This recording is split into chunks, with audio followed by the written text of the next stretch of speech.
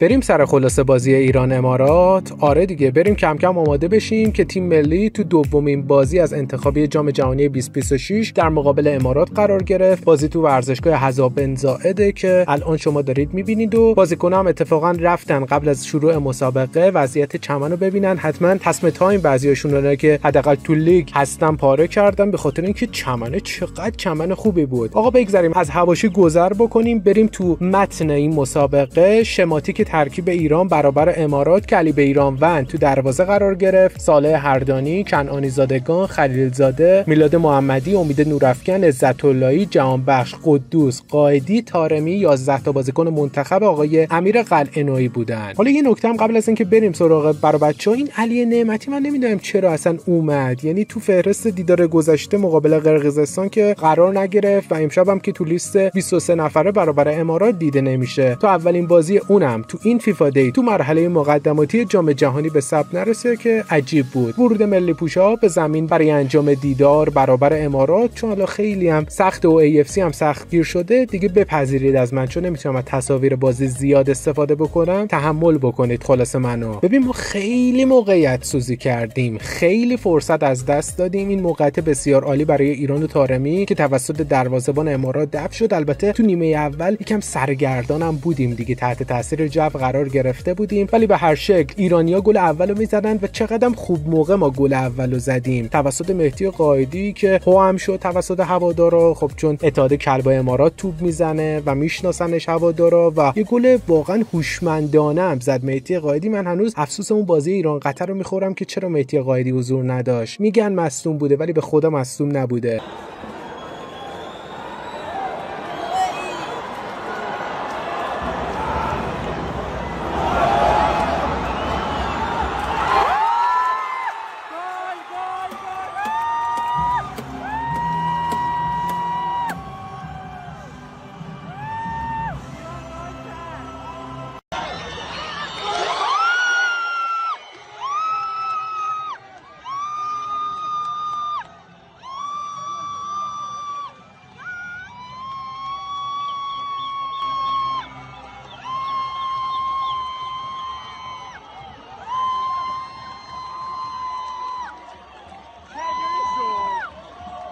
این گلی که مهدی قائدی زد گلش قبول بود. ولی گلی که مردود اعلام شد گلی بود که مهدی تارمی به مهدی قائدی پاس میده. در دهانه دروازه حالا من فیکس می‌کنم صحنه رو شما هم ببینید. یکم جلوتر بود و حیف شد دیگه. ما به امارات تا دلتون بخواد گل مردود زدیم. ولی به هر حال بازی 0 شد تا دقیقه 47 48 بود که ما بازی رو حداقل برنده به رختکن بریم. نیمه اول بردیم. اینم اسخایی مهدی قائدی از اماراتیا بعد از گلزنی رو می‌بینید. تحلیل گل اول ایران اگه بخوایم داشته باشیم ببینید بازی عرضی جهانبخش dummy طارمی و اشتباه مدافع یارگیر قائدی در منطقه‌ای که قائدی برای گل زدن استاده. اشتباه مدافع روبروی قائدی نشون داد. شاگرده قلعه‌نویی اگه پرس از بالا انجام بدن مدافعین امارات کاملا پتانسیل اشتباه کردن رو دارن. چرا که نه تنها در صحنه گل بلکه در چندین صحنه دیگه مشهود بود که امارات نمی‌تونه بازی رو از پرس در بیاره و اشتباه می‌کنه. اما ایران pressing بازی نمی‌کنه و دفاع در زمین خودش رو تو نیمه اول در دستور کار قرار داده بود. ضربه سر سردار راهی به دروازه امارات نداشت. ضربه سر علی جهانبخش که حیف شد دیگه. این ورم مهدی قائدی ارسال کرد. تیر یک علی جهانبخش زد که گلر اماراتیا توپو برگشت داد. خوبه. تا همینجا اگه در دقیقه 60 بخوایم تحلیل این مسابقه را داشته باشیم ببینید بازی با سرعت بالا آغاز شد و تو نیمه دوم برخلاف نیمه اول ایران بازی رو بهتر شروع کرد. تو نیمه دوم ایران طراحی حملاتش رو تا دقیقه 60 دارم میگم روی خلاقیت و تکنیک قائدی برنامه ریزی کرده بود که فعلا تو این مقطع از نیمه دوم کاملا تاثیرگذار بوده. ایران کاملا تو نیمه دوم بهتر بود و با استفاده از فضای پشت مدافع های کناری امارات تونست حملات خودش رو طراحی بکنه و چند تهدید رو هم روی دروازه امارات ایجاد کرد. ایران نیمه دوم تا اینجای کار بازی رو در اختیار داره و امارات حرفی برای گفتن نداره. اینم موقعیت گلزنی عالی که با تعلل مهدی تارمی قلیزاده و آزمون به راحتی از دست رفت. گذشته 75 دقیقه از بازی همچنان ایران برخلاف نیمه اول کاملا سوار بازیه و اجازه طراحی حمله به اماراتیا نداد و نمایش قابل قبول داشت. تو نیمه دوم تعویضهای آقای قلعه‌نویی هم به نوعی با برنامه بود. با وجود آزمون قلیزاده ایران برای ضد حمله و پرس هم برنامه خودش طراحی کرد و نیمه دوم ایران با برنامه تر نسبت به نیمه اول دیدیم. این نمایش قابل قبول بود دیگه تو نیمه دوم که باعث شد امارات هیچ حرفی برای گفتن نداشته باشه. و بازی کاملا در اختیار ایران بود. ولی خب ببین ما در مورد امیر قلعه‌نویی انتقاد کردیم ولی خب قلعه‌نویی همه تقصیرها هم بر گردن اون نیست. یعنی کلی از بازیکنان مهدی طارمی قائدی چه می‌دونم سردار آزمون کلی موقعیت از دست دادن. یا همون علی جهانبخش که خودخواهیش صحنه باعث شد که فرصت بسیار خوب ایران از دست بره و این بده دیگه. این دیگه مقصرش امیر قلعه‌نویی نیست مقصرش فوتبالیستای خودخواه ما هن. تحلیل این مسابقه چجوریه؟ نیمه اول پرفشار شروع شد و امارات بازی مالکانه ارائه داد. اما اونا در طراحی حمله ناکام بودند و فقط نیمه اول و برتری مالکانه داشتند و اشتباه دقایق پایانی اونا رو بازنده به رخکن فرستاد. اما تو نیمه دوم ایران نمایشی متحول داشت. شاگردای قلعه‌نویی با طراحی حملات از سمت قائدی و در اختیار گرفتن یک سوم میانی کاملا بازی رو در اختیار گرفتن و اگه کمی دقت داشتن شاید گلای بیشتری هم به ثمر میرسوندن. ایران 75 دقیقه بازی مالکانه ارائه داد. دقیقه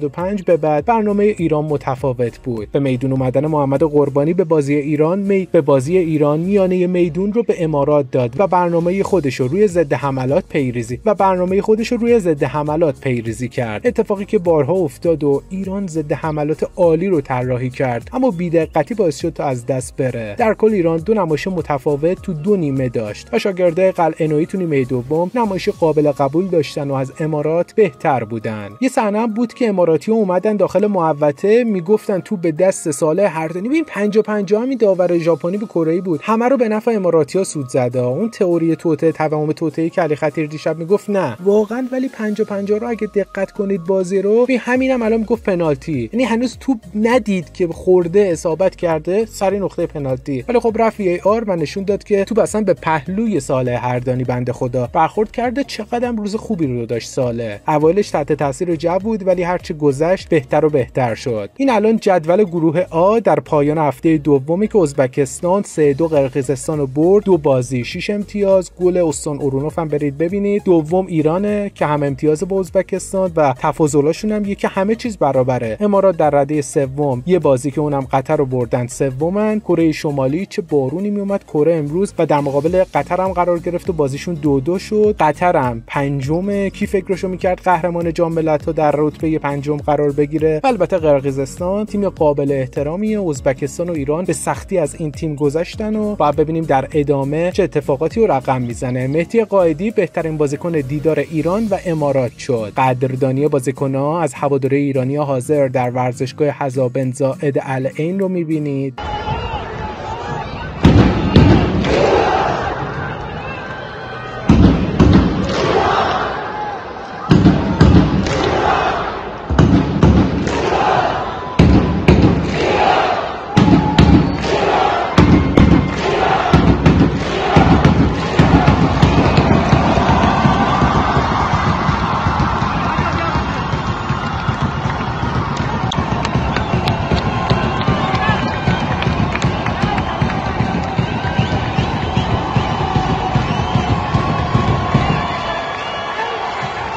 پرتاب بطری از سوی اماراتیا تو لحظات پایانی بازی مقابل ایران از عکس استفاده می‌کنم دیگه چون کپی رایت رو می‌شناسید شما خودتون. قاب یادگاری ملی پوشان در العین امارات رو می‌بینید. امیر قلعه‌نویی وسط حالا ژست معروف مهدی قائدی گلزن این مسابقه. علی بیرانوند عالی بود چند تا توپ خوب گرفت و خیلی هم بی‌حاشیه بود. البته که ببین وقتم زیاد تلف می‌کرد علیرضا بیرانوند دیگه. می‌دونی؟ بده. در مقابل امارات ما ایرانی ما این سال رده اول رده بندی فیفا بودیم تو آسیا الان 19 هم دنیاییم طبق ranking فیفا و خوب نیست. وقت تلف کنیم جلوی امارات. امارات هم پیشرفتش رو ببینید چقدر با پائولو بنتو خوب کار کرده. مهدی قائدی هم این ویدیو رو منتشر کرد و گفت این برد رو به مردم تبریک میگم. اول سلام از می‌کنم خدمت همه بینندگان و مردم عزیزمون. این بردو بهشون تبریک میگم. خسته نباشید میگم به بچه ها و همه مردمی که اومدن اینجا. تو این هوای گرم حمایتمون کرد سی اول تبریک میگم به آقای بنتو تیم خوب امارات. من فکر می‌کنم یکی از تیمای خوب تاریخ اماراته که آقای بنتو زحمت کشیده این تیم رو ساخته. این در درجه اول و بعد تبریک بگیم به فوتبال به خاطر این بازی زیبا.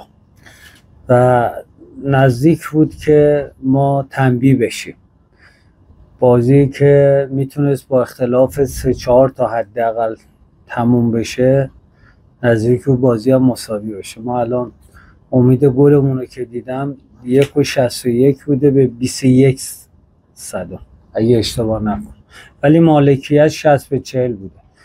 ما یه فوتبال خیلی با برنامه بازی کردیم. قبلش هم گفتم که ما تونستیم نقاط قوت تیم امارات رو جلوی قطر آنالیز کردیم تا حدودی بستیم و اون نقاط ضعف هم به گل رسیدیم. هم می‌تونستیم گلای بیشتری بزنیم که من علاوه اینکه بعد از بازیکن‌ها تشکر کنم ولی ازشون گله مندم که موقعیت های بالای 90 درصد رو نزدم تو گل. و یه جایی فوتبال آدم رو تنبیه می‌کنه که خدا رو شکر امروز ما تنبیه نشدیم. ما این مشکل رو باید هر چه زودتر دو تا ایراد داریم یکی که اون جلو طول رو میدیم یکی که موقعیت های بالا 90 درصد رو به گل تبدیل نمیکن ولی فوتبال فوتبال زیبایی بود. امارات چند سال بود یه همچین تیم به این شادابی نداشت که به آقای بنتو تبریک. من اولا جا داره که از طرفدارای تیممون تشکر کنم. امروز واقعا سنگ تموم گذاشتم و من فکر می‌کنم با اینکه تعدادشون نسبت به اماراتی ها کمتر بود ولی کم نیاوردن. ما دو تا برنامه داشتیم. یه برنامه بدون سردار که پرس تیمی داشتیم مخصوصا رو خط هافکشون. به اعتقاد من امارات یه بازیکن داره که کلاسش خیلی بالا شماره 8 ساله اسمشو نمی‌دونم. ما تو فیلم بازی با قطر هم دیدیم و به یکی از هافکامون تقریبا مأموریت داده بودیم. اون بازی خارج کنه تا حدودی یه برنامه هم داشتیم با بودن سردار که خیلی ایجاد موقعیت کردیم. ولی میگم متاسفانه استفاده نکرد.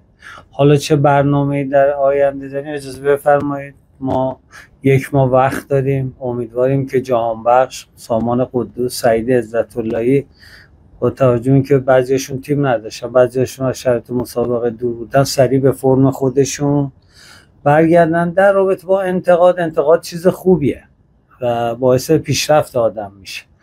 ولی بعضی ها حب و بغض دارن. اونا رو ما با انتقاد جدا می‌کنیم و اینا. بازی قبلی هم خب مستظر هستیم. که یه زمینی بود. که من مثالش هم قبلا زده بودم. ما یه تیمی هستیم با کیفیت بالا رو زمین می‌خوایم بازی کنیم و اینم نشون دادیم که امروز چقدر توی عمق ایجاد موقعیت کردیم زمین ما رو اون بازی اذیت کرد. ولی این بازی چون شرایط زمین خوب بود اصلا فوتبال قشنگی شد. امیدوارم که ما این روند رو به رشدمون رو ادامه بدیم. ما شیش امتیاز گرفتیم دو تا کلینشیت کردیم. این آمار به نظر من آمار خیلی خوبیه. ولی من توقعم و بازیکنان بیشتره می‌تونن در لول بالاتری هم بازی کنن. خب خیلی خوشحالم تونستم توی بازی سخت یه گل مهم برای تیم کشورم بزنم دومی که خب قبل از اینکه خوشحالی گل انجام بدم از همه طرفداران و مردم امارات عذرخواهی کردم و بعد خوشحالی گل کردم. چون مردم امارات هم مثل مردم خودمون دوست دارم و بسیار مردم مهمان نواز و خوبی هستن.